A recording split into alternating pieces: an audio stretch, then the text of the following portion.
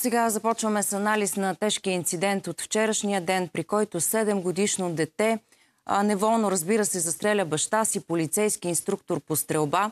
Случаят е от Пловдив. Стрелбата стана в сграда на полицията в областния град.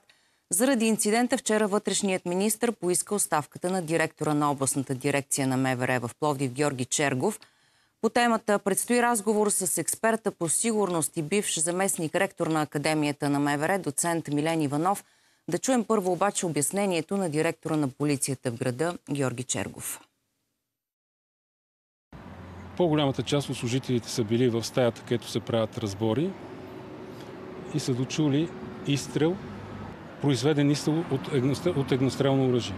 Излизайки в предверието, където се намират и шкафовете за съхранение на лични вещи, забелязват детето на техния колега да държи в ръцете си пистолет. Извършиха се оглед на место происшествие, разпитват се свидетели, извършен е оглед на живо лице. В присъствието на психолог и майката са извършени необходимите действия с детето.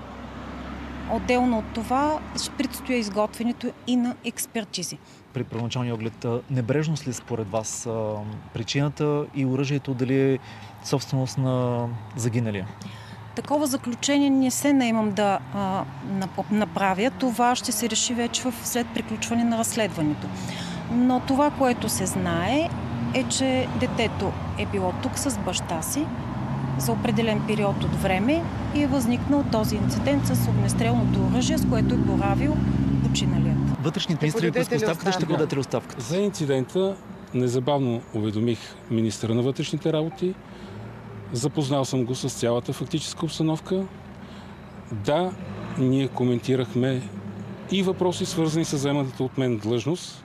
Искам да знаете, че никога не съм се изстрахувал да поемам отговорност. Министъра на МВР ще бъде в утрешния ден на територията на дирекцията. Аз съм готов да поема отговорност, каквато е необходима. Да, очакваме развитие по този случай и през днешния ден. Стана ясно, че всъщност и двете деца на загиналия трагично полицай са били на работното му място. А сега, както ви казах, включваме по Вайбър доцент Милен Иванов, бивш заместник ректор на Академията на МВР. Здравейте!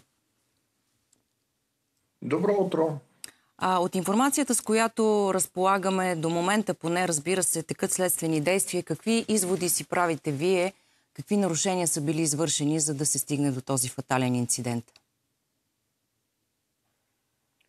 Действията по разследването ще кажат окончателно какви, какви нарушения са извършени, но така на прима виста първо присъствие на деца в служебни помещения в работно време, а и в извън работно време, е забранено. Така че това е странно, те, че са били там. А това е първото, което... Второто, което е... Казва... Второто, което е как този пистолет се е оказал зареден в ръцете на детето. Тук също има най-вероятно някакво нарушаване на правилата за безопасно боравене с оръжие. Сега знаем, че се работи по две версии. Едната е за това, че оръжието е било оставено без надзор, било е заредено, детето е имало достъп до него. Другото е, че някой а, всъщност му е показвал, че оръжието е заредено. Така или иначе, какви са правилата а, за съхранение на служебни оръжия в а, сградата на полицейския участък? Мястото на оръжие е или в кобур на този, който го носи и използва, или в каса трети вариант няма. Няма как това оръжие да седи на маса, когато са приключили занятията. Няма как то да, да да попадне в лице, което няма отношение към а, действията на полицейските служители по време на тренировките. А, сега трагедията безспорно е, е голяма. Според вас подценяване на ситуацията ли стои в основата всъщност на този трагичен развой? Още повече, че става дума за изключително опитен служител а, на МВР, който е бил инструктор на свои колеги.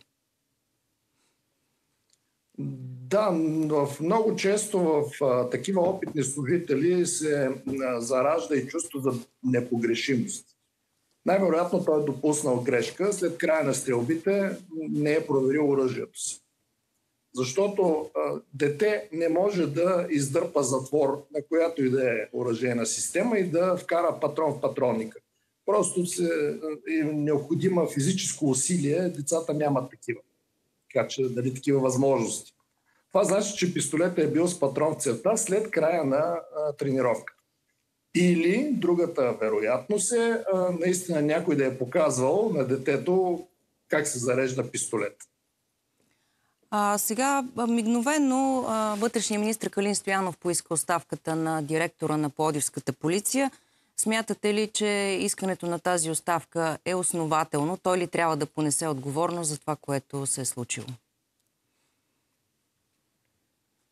Да се иска толкова бързо оставка с една формулировка, която е болезнено позната за всички ръководни служители на МВР – неосъществен контрол, това е много широко понятие, е прибързан.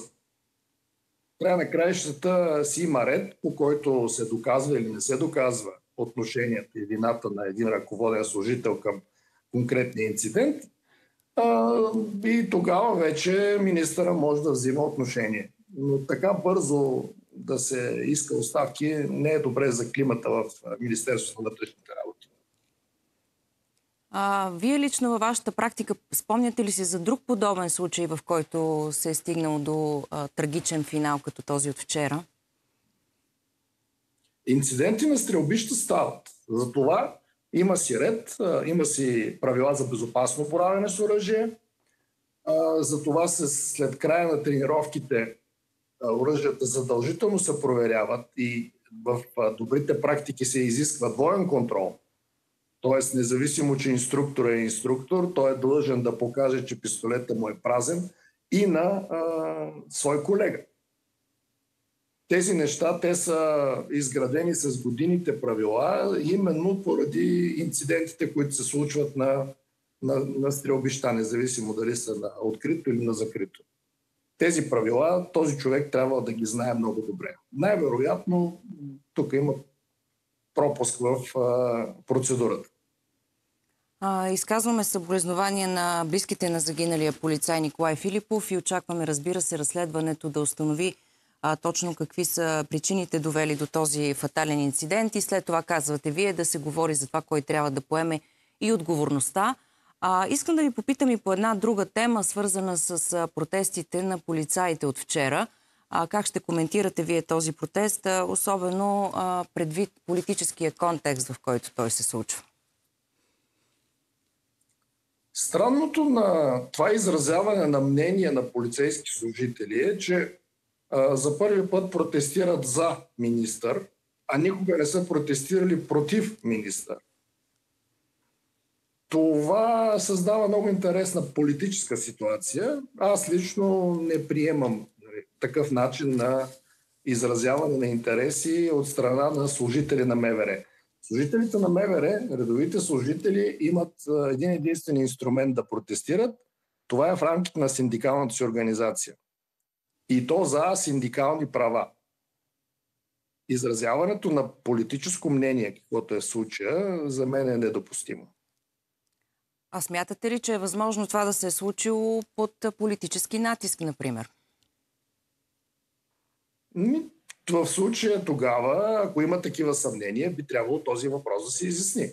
Защото пък ако има политически натиск, тук вече говорим за търговия с влияние.